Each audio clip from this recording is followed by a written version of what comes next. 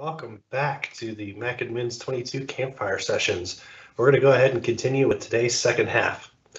Our uh, second speaker is Jim Rispin on the One is the Loneliest Number, a survival guide for managing and working remotely. How are you today, Jim? I'm doing all right, thanks. Great. If you'd like to go ahead and share your slides, we can go ahead and get started.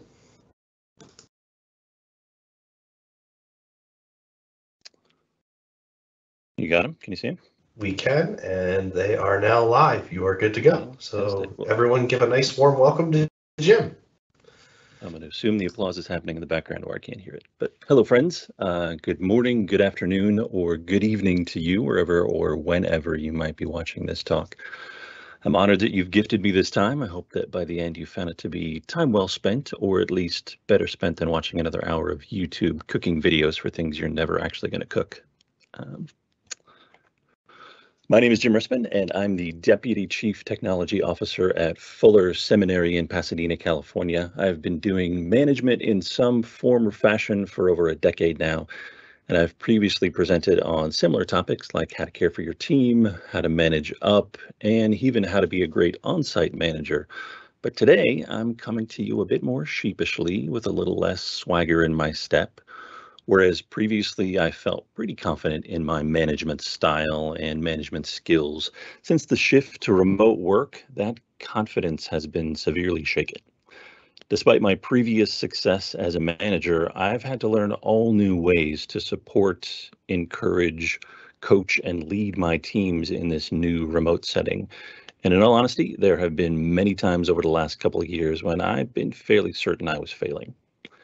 Maybe that resonates with some of you, and if it does, I hope something from this talk today can help you regain some of your own management swagger.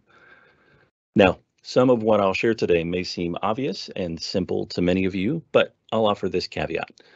Just because it's obvious doesn't mean it's automatic, and just because it's simple to understand doesn't mean it's easy to do. So if you can keep an open mind and muster as much self-awareness as possible for the next 45 minutes, I promise you'll come away with something useful. So, what is the goal of successful remote management? Well, I'll be honest, I'm still trying to work this out, but is it to make sure my team is fully informed on all of the projects, initiatives, and priorities of my entire organization? Is it to make sure they feel fully connected as a team on both an emotional and professional level? Is it to ensure they have all the resources they need to succeed in their work, no matter the cost? Is it to ensure each individual team member feels completely supported in every aspect of their work? Is it to advocate for them at all levels of the organization so that they are adequately recognized for the great work that they do? Is it all of the above? Is it none of the above? When you put it all together, is it even achievable? The work of a manager can feel overwhelming in the best of times, but we left the best of times in our rearview mirror over two years ago. So how do we define success in this new normal as a remote manager? Again, I'm still working it out, but some clear goals are beginning to rise to the surface. Now, we won't spend a lot of time on the broader philosophies of successful and healthy management in favor of spending time on practical tips and tactics.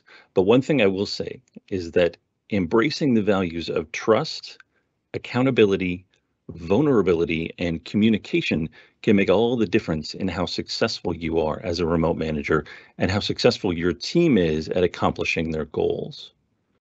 Trust isn't a one way street. It means you trust your team, your team trusts you, and your team trusts each other. This has always been vital for healthy, productive teams, but never more so than in our current remote environment. Accountability is another thing that goes both ways. Everyone, including you, should know what they're accountable for, and most importantly, everyone should be able to hold each other accountable in a candid and healthy way. Vulnerability is an essential prerequisite for building trust, and this is one where you as the manager need to take the lead and set the tone. If you have it in your head that vulnerability doesn't belong in the workplace, read anything from Brene Brown and she will divest you of that notion in no time. And lastly, your communication needs to flow freely between all members of your team.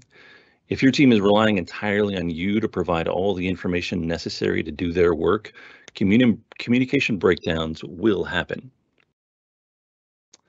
So if you can keep these four values at the center of your culture and operation, you go a long way towards achieving the success you want for your team. Now let's talk about challenges. The shift to remote work has likely surfaced a number of challenges for you and your team. Now, some may be unique to your organization or circumstances, but many are likely common among all teams. So before we dive into the tips and tactics for improving your lot as a remote manager, and hopefully by extension, the lot of your remote teams, let's highlight some of the common challenges that your team might be facing. This first one is kind of obvious, but with many of us working remote and spending less or no time in the office, we just see each other less. This means less opportunity for connection, less team building, less ad hoc communication, less chances to provide and receive feedback, all of which can have a significant impact on morale and productivity. Now, the manager who assumes that this will work itself out naturally and that their team will achieve a new sense of equilibrium all on their own will likely be doing a lot of rehiring or possibly looking for another job themselves. So, in an effort to compensate for the lack of face to face interactions, many of us have turned to Zoom or Teams or Hangouts or whatever. And this has led to the inevitable problem of Zoom or video conferencing fatigue. Now, there are a myriad of ways to combat this reduce the frequency or length of meetings, move to audio only meetings, meet in person when possible. But the important thing is to be aware of this challenge and try to anticipate and mitigate its negative effects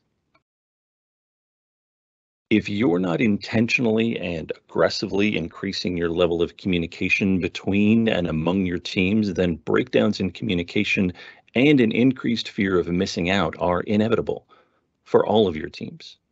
When they're no longer bumping into each other in the hallway or chatting each other up at their desks, the potential for communication loss is substantial. You may find that one of your newest and most important jobs as a remote manager is making sure everyone stays informed but as I mentioned before, this can't fall entirely on you to be the source of all information. Recognizing the potential for increased feelings of loneliness and isolation among your team is just as important as supporting your team's productivity. If you're lucky enough to have a bunch of introverts on your team, this may not be as big of a concern, though good luck getting everyone to turn on their cameras for Zoom meetings. But for the rest of us, and even for some of those introverts, the shift to remote work has meant confronting unexpected and sometimes intense feelings of isolation and loneliness. This is not to suggest that managers need to become therapists to help their teams work through these feelings. That would be inappropriate. But pretending they don't exist and then punishing your team for the impact they can have on productivity is equally inappropriate. We'll talk about how you help your team deal with distractions in a little while, but for now, just know that this is a real thing for everyone in your team, including you. Whether it's dealing with a demanding kid or spouse, a puking cat, or an ill advised YouTube rabbit hole, distractions are inevitable. How you talk about them and how you help your team navigate them could define the boundaries of how much trust you're able to achieve with your team. On the flip side of the distraction coin is boundaries, or rather, the lack thereof that has emerged in our remote work environments. And this has inexorably led to overwork and burnout in many teams. When your office is mere feet from the rest of your living space, the temptation to allow one to intrude upon the other is strong.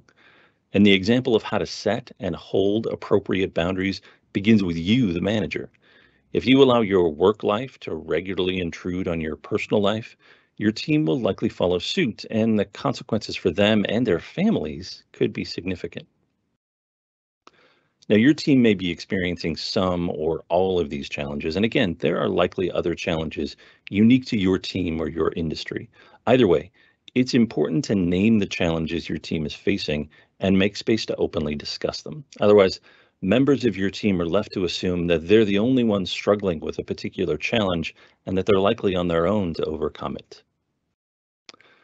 So now that we know some of the challenges your team might be facing in the remote environments that they're in, how can you come alongside and help them confront these challenges? Well, that's what this next section is for.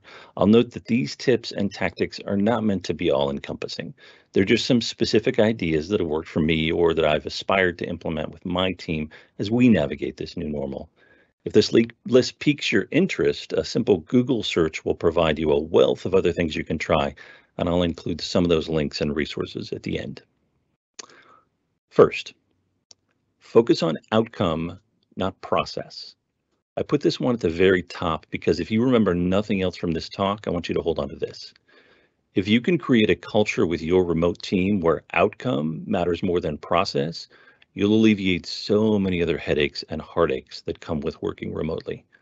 Of course, you can't get here without a healthy level of trust and accountability, as well as clearly defined goals and objectives, and you'll need to make sure you're giving your team all the training and resources they need to succeed, but you already know that. But if you can set the expectations and then get out of their way, you'll likely be amazed at what your team can accomplish. Not only will you improve their level of engagement, but you'll also boost their creativity and degree of ownership over their work. I mean, let's be honest, micromanaging your team's process sucks in the best of circumstances. But in a remote setting, it's virtually impossible, pun intended, at least not without destroying your team's morale and job satisfaction. Leaning into outcome over process is the best way to maximize your team's engagement and empower them to do their best work. Next, encourage and model healthy boundaries. I mentioned this a moment ago in talking about the challenges your team likely faces in their remote work, but it's important to remember that the move to remote work in the last two years has created some extremely blurred lines between work life and home life. Many of us, myself included, have found ourselves working far beyond our expected hours simply because it was easy to do so. With the work environment now fully enmeshed in the home, the tendency to overwork is more tempting than ever. Therefore, it's more important than ever for managers to encourage and especially model boundaries. Show your team that you know and respect when it's time to stop working and do other things. Make liberal use of the scheduled send feature in your email or Slack.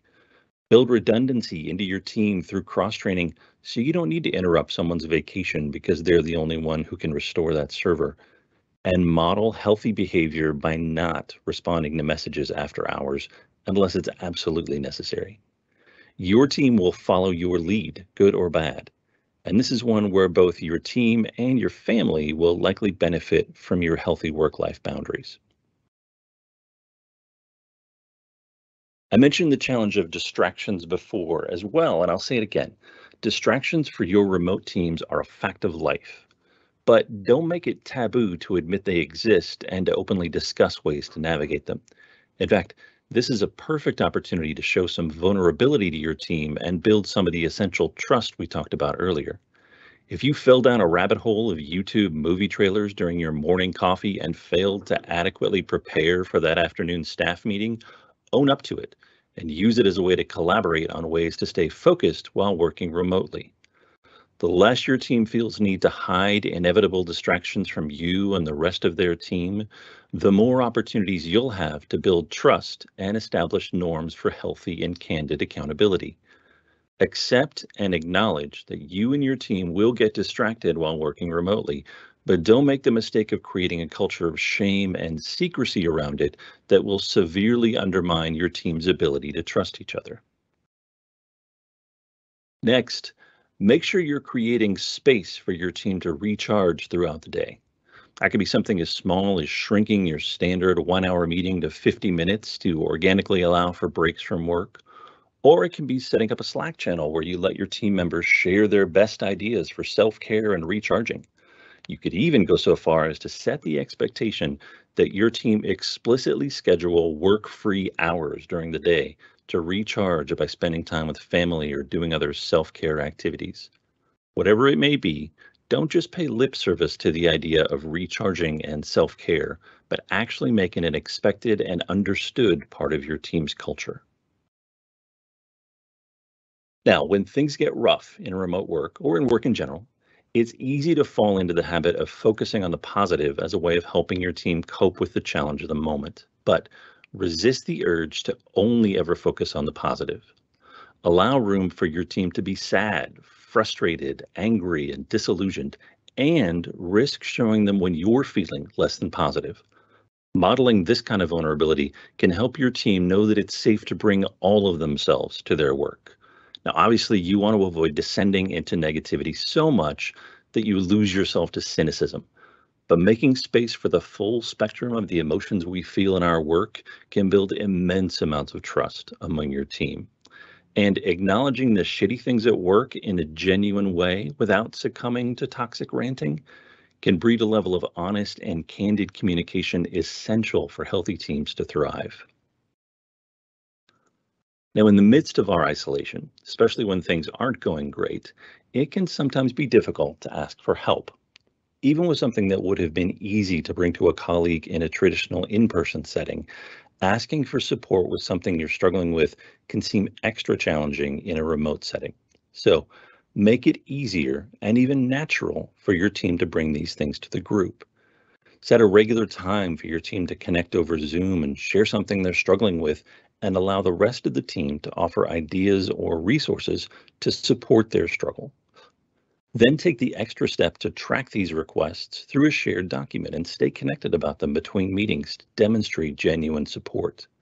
The benefit this will provide your team in both a professional growth and emotional support capacity can't be understated. I hope you already know the importance of one-on-one meetings with everyone on your team, but in a remote environment, they're even more critical. With the lack of ad hoc hallway or water cooler conversations, it's important to maximize the face time you get from your one-on-ones. To that end, if your regular schedule for one-on-ones with your team is once a month or every other week, consider increasing the frequency of those meetings or possibly supplementing them with brief daily check-ins to make up for the loss of your usual face-to-face interactions. Also consider setting up a special Slack channel or other repository between you and each member of your team to log things you need to discuss at your next one-on-one. -on -one whatever you do, don't neglect the one on ones with your team. It may be the only dedicated time you get with each of them. And if you're missing them, there's a whole host of things that could quickly get off course. One bonus tip while we're talking about one on ones if you have your one on one over Zoom or another video conferencing platform, turn off your self view and encourage your team to do the same you will be amazed how much more engaged you are when you're not constantly distracted by your own face. In fact, I'd recommend it for nearly all your video conferencing meetings to improve engagement. Now, in the past, I've talked about the risk of creating communication overload with your teams if you try to communicate too much. But in a remote work environment, things look very different.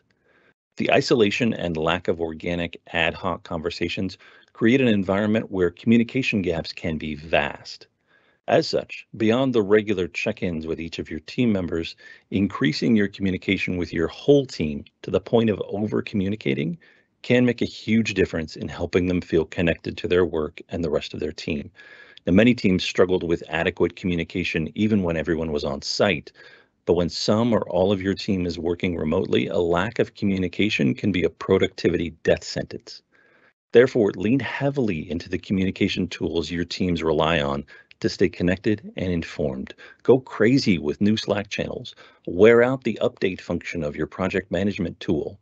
Religiously embrace monthly or quarterly all team meetings to ensure everyone stays informed on all the work that's going on. If your team's not occasionally whining about how much they've already heard this information, you're probably not doing enough. While we're on the topic of over communicating, this one may only work if you're using the right kind of chat platform, but for us as Slack users, it works perfectly. If you flew on a commercial airplane in the days before in-flight movies and Wi-Fi, you likely experienced the joys of in-flight radio as a way to pass the time. Among the various channels you could choose from from the armrest of your seat was a very special one called Channel 9. This channel was a direct link to the pilot of your airplane and the communication he or she had with their fellow pilots and ground control during the flight.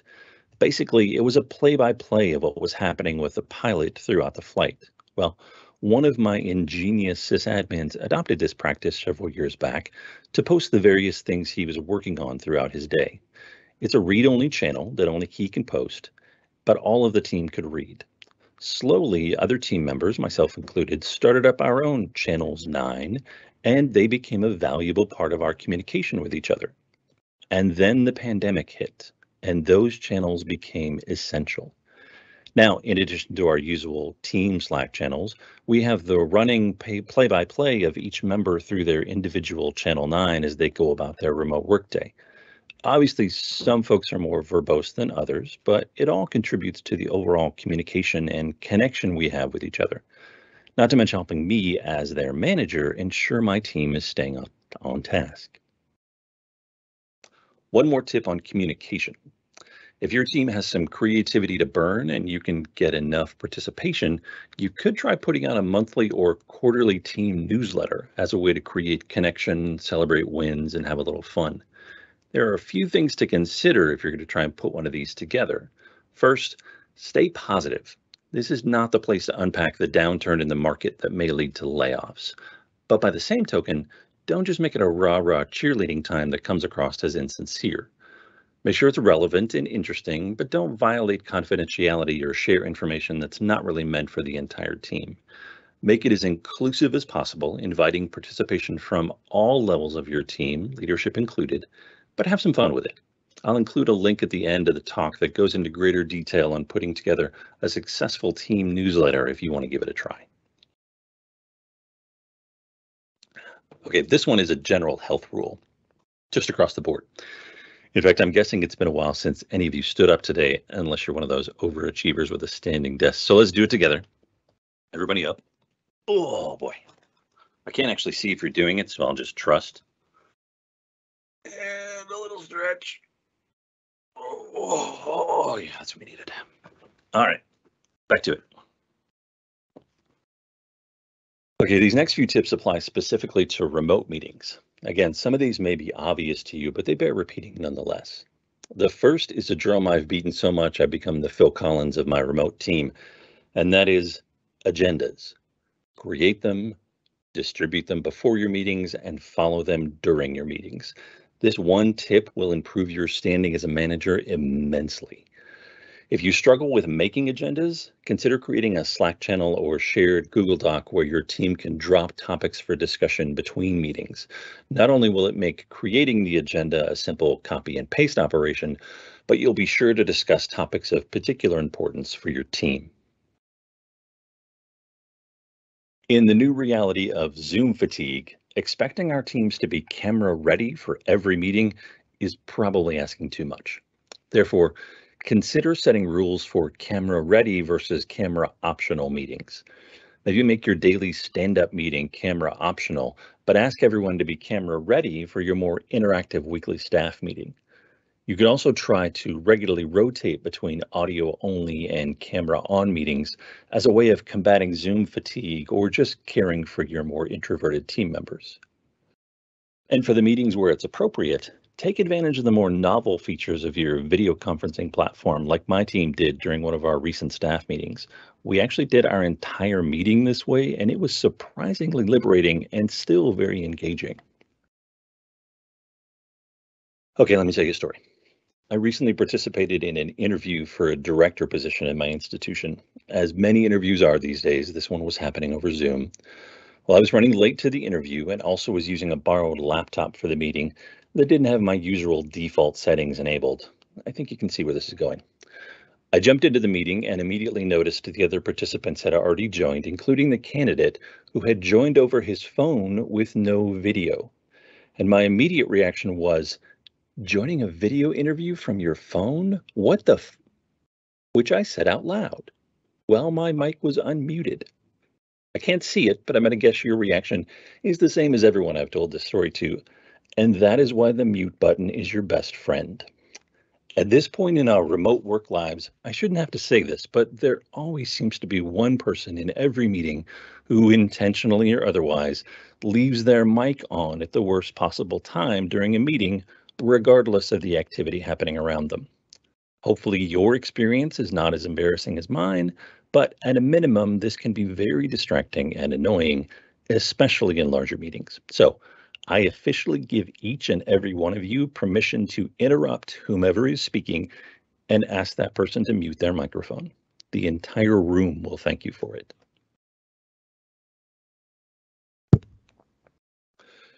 Now, if your company culture will allow for it, and maybe even if it won't, consider establishing meeting free days where no meetings can be scheduled to allow for uninterrupted project or productivity time. This can go a long way to reducing Zoom fatigue and providing your team with the additional break they need to recharge. And in those rare cases where you absolutely need to gather for something, i.e., a crisis, consider an audio huddle over Slack or just a simple conference call. If this is something that would be difficult for your organization to adopt in mass, try setting the example with your team by encouraging them to block out the time on their calendar, preventing members of other teams from scheduling meetings on your meeting free day. It may seem a little passive aggressive, but if you communicate to other managers the goal you have in mind and why your team isn't available on a certain day of the week, you may find that they begin to adopt a similar practice. And eventually, you might reach a tipping point in your organization where you can decide on a corporate meeting free day. Okay, over the last two years, we've all had our share of forced fun. The virtual happy hour that your boss insists you attend to maintain team morale, the virtual birthday or going away party that requires everyone to say something nice about the guest of honor. I have lost count of the number of times I've dropped into these work meetings disguised as social events, only to fake a bad Wi Fi connection and pull a virtual Irish exit. Now, don't get me wrong, I understand the motivation for these events. Organizations are scrambling to make up for the lost connection their employees are experiencing in the wake of the shift to remote work. But so many of these are cringe inducing, awkward events that we can't wait to be over. So, if your team is doing a regular social gathering that involves a little more than staring at each other on screen, waiting for someone to say something interesting, maybe consider better use of that time. As an alternative, try building time into the start or end of your regular meetings to connect with each other and share non work related info about your life hey, what, what was that TV show you were been watching? Or, hey, let me share this really awesome meme I just found. Or, hey, where'd you guys go on vacation last week? Frequent but brief opportunities for shared fun can build just as much, if not more, connection than awkwardly staring at each other for 45 minutes once or twice a month. But that's not to say that a little forced fun isn't appropriate from time to time, as long as you plan well. So to help you along for your next event, here are a few quick micro tips for planning a virtual team gathering that might not suck. First, believe that it will be awesome. You might need to fake it for the first little bit, but if you believe that your event is going to break the mold and be fantastic, that enthusiasm might just carry over to your team and they will come into your event believing it as well. But even if they don't, that could still play to your favor. If your team is convinced that yours will be another in a long line of lame virtual events, the bar will be set so low that you won't need to do much to make your event memorable. Look to the cool kids in your team to help you drum up excitement about the event. If you can get the people whose opinions are most respected in your team to share your enthusiasm, it might help win over the reluctant crowd. Alleviate some of the anxiety that the time will be awkward and boring by assuring your team that the event will be less than 30 minutes. In fact, if you promise 30 minutes and finish in 20 minutes, you'll be a hero and everyone will likely leave wanting more. Assuming you have a limited, i.e. no budget for your event, as most of us do, Get your team to participate with whatever they might have on hand. Homemade signs, silly hats, pets that are in close proximity. Whatever helps bring some fun and weird energy to your gathering will make a big, big difference.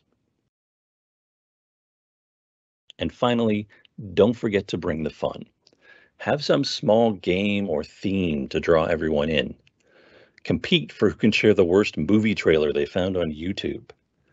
Play a short round of Among Us or do a mystery gift exchange and have your team gift each other a little bit of weirdness from the internet. It is possible to build team connection through forced fun and not have it feel so forced. It just requires a little planning and a smidgen of faith that these times can be successful. And in the absence of organic connection in the office, they probably are a vital component of a healthy team, even if they're not always something we look forward to. But that's not to say that we should abandon all hope of ever seeing each other in person again. In fact, whenever possible, you should encourage your team to get out of their office and meet people in person. Whether that's taking a meeting with another team member who's in their area or having lunch with a friend, getting out of their remote office can make all the difference for a healthy and productive day. I know for me, especially at the height of the pandemic, I went months without seeing another member of my team, let alone anyone else besides my own family, in person. And that had a significant impact on my sense of connection with my teammates.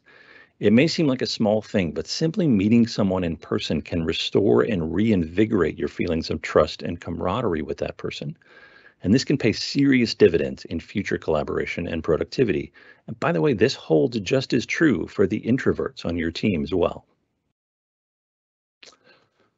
Okay, putting aside the social and moving back to the productive, consider adopting an agile-based project management framework and subsequent project management tool, even if you're not doing traditional project work just for your regular operations, complex tasks, or management responsibilities, this can really improve your team's overall productivity. It's a natural way to encourage accountability and improve communication around even the most basic of tasks on a remote team.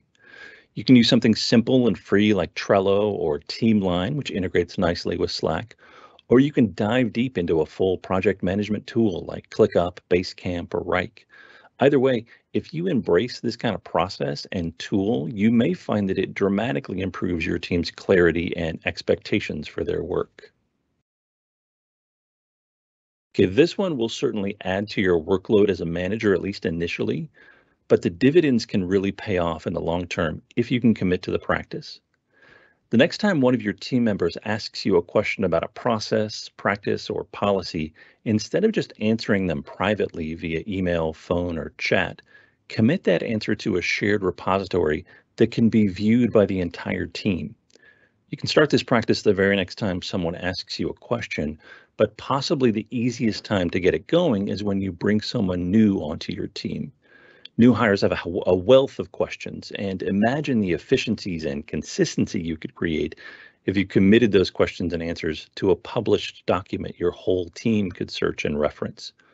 Or you could go one step further and create an entire handbook that your team can refer to and update as necessary to answer questions and make decisions. I'll share some information at the end to get you started on building this kind of resource if you're interested. This last tip is like the first, in that if you're able to embrace it wholeheartedly, it will mitigate a host of other heartaches and frustrations that can arise from remote work. And it's simply this be flexible and empathetic, and encourage the same of every member of your team. Here's a reality everyone on your team is facing a different set of circumstances. Some will be sharing space with spouses or children, and some won't.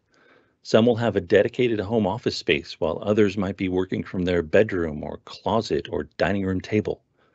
Some may be at a local coffee shop because their home internet is so poor. Regardless of the circumstance, it's your job as their manager to understand and empathize with each and every one of these situations and accept that none of them will be completely ideal. How you model empathy and flexibility for each of your individual team members in the face of these varied circumstances will set the example for how they respond to each other. If you can demonstrate genuine care for your team, offer a sympathetic ear when it's needed, be flexible when unexpected disruptions to their remote workspace happen, and offer sincere empathy when difficulties arise, the other challenges that come from being a remote manager will feel much more, well, manageable. One last bonus tip that's really more of a shameless plug. Much of what I've presented in previous talks about management and managing up still applies in a remote setting. So if you need a refresher on those, check out these talks on the MacAdmin YouTube channel.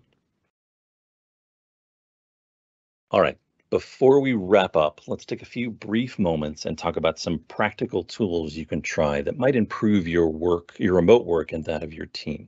For this part, I'm going to blow past the obvious tools that you're probably already using, Slack, Zoom, Google Drive, OneDrive, etc., and focus on a few tools that you might not have heard of or suggest using a tool in a new way you might not have considered.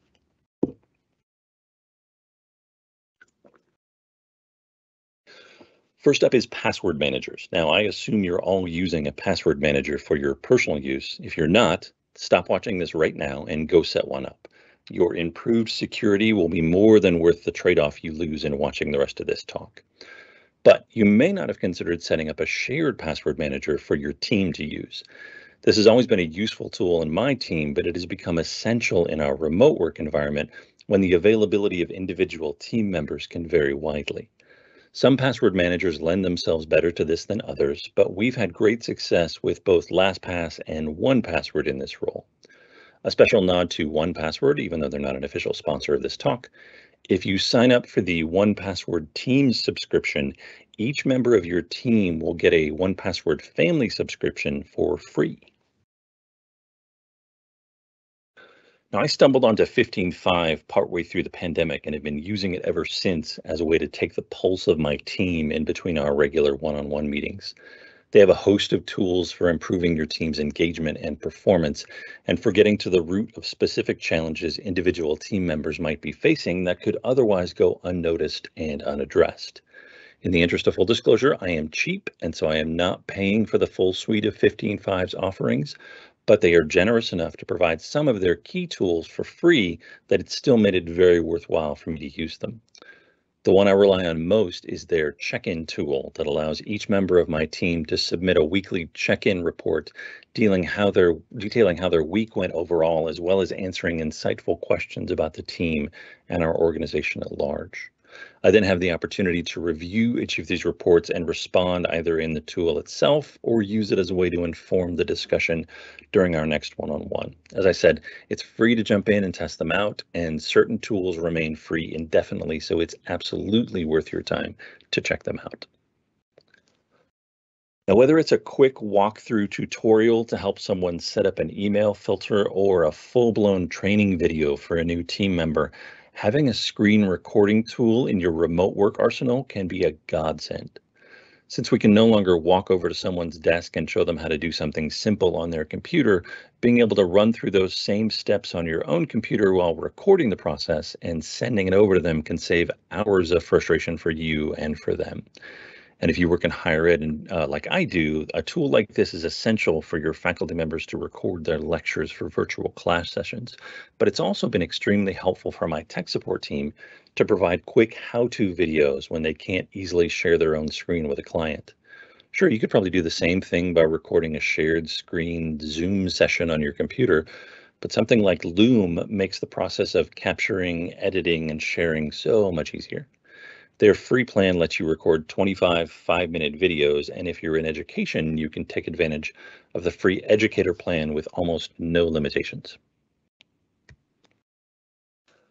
Now, obviously, traditional whiteboarding is no longer possible in our remote settings, but that doesn't mean you need to abandon your inner marker fiend Online whiteboard tools like Miro, Limnu, Stormboard, and Google's Jamboard have made it possible to recapture the magic of whiteboard sessions with your team.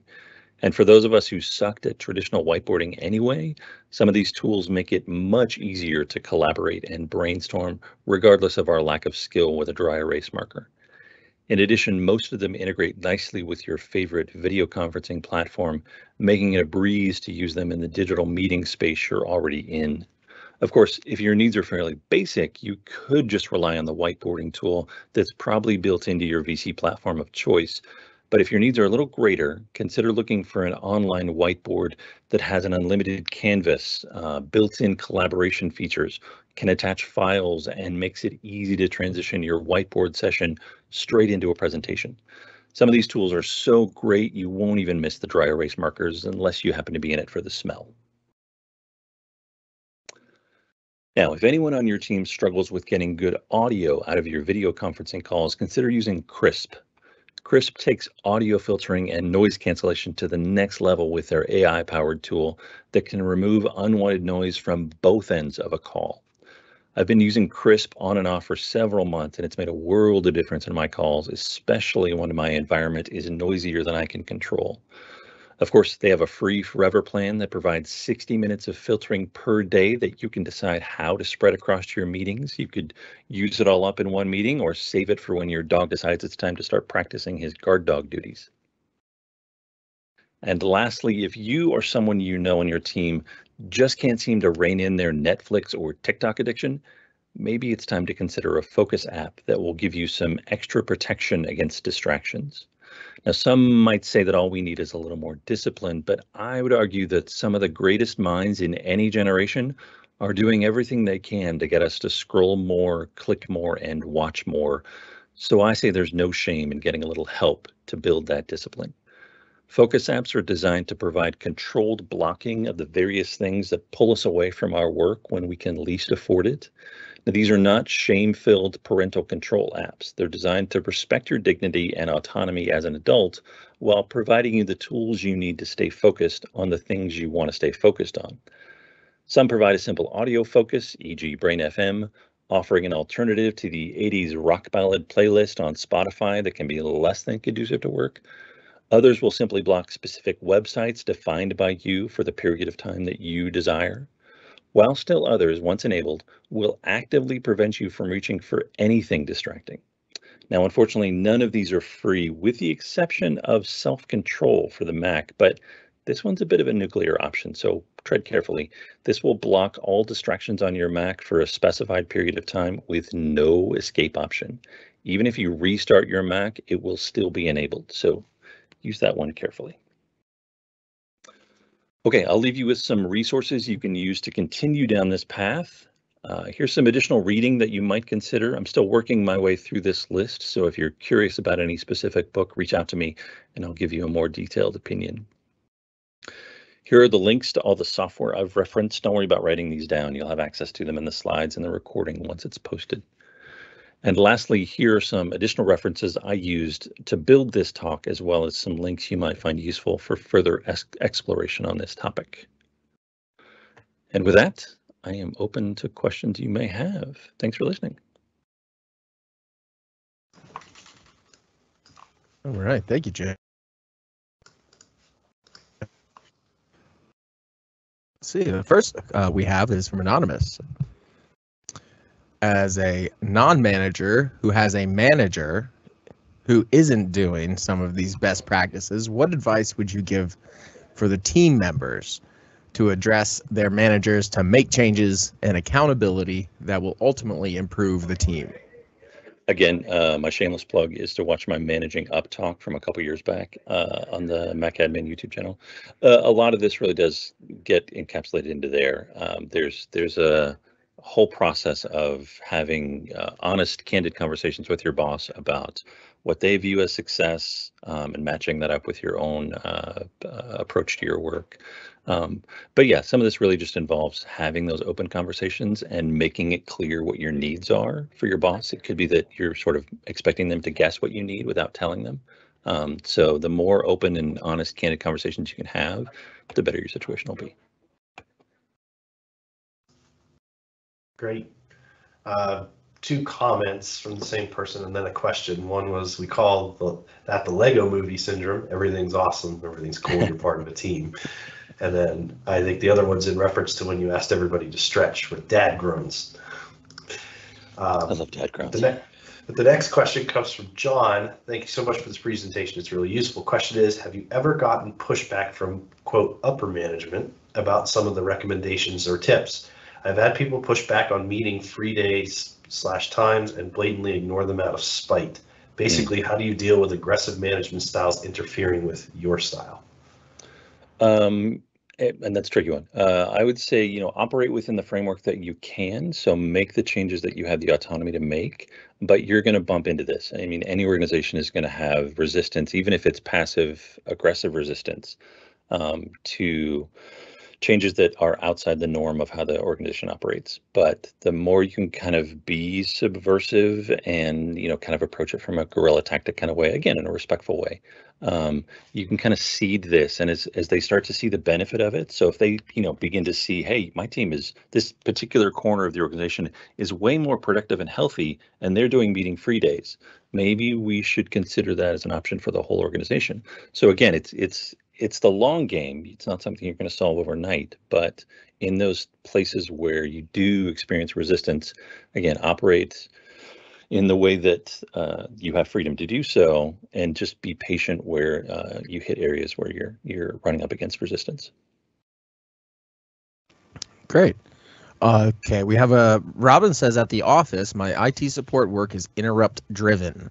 When I'm remote, I can finally work uninterrupted, so I tend to never stop because I enjoy it. The flip side is that I don't really have time for a life. Getting started is familiar, familiar story here. Getting started is hard and not starting feels bad, but when I'm working deep, there's no stopping. Any tips how to become successful in time boxing, both starting and ending my quote deep work? Oh, Robin, Robin, Robin, Robin make better choices. Um, that's an easy answer.